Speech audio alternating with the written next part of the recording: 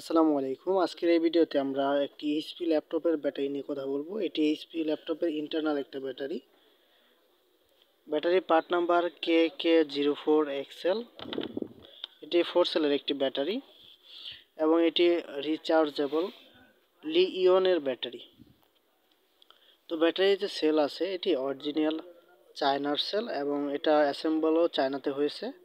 ব্যাটারিটির part number K K zero four XL যেটা seven point four volt তিন হাজার আটশো বিশ মিলি অ্যাম্পিয়ারের একটা ব্যাটারি, উনতিরিশ ওয়াট এটার ক্যাপাসিটি ব্যাটারিটি মাদারবোর্ডের সাথে কানেক্ট করার জন্য এইট পিনের একটি কানেক্টর পিন রয়েছে।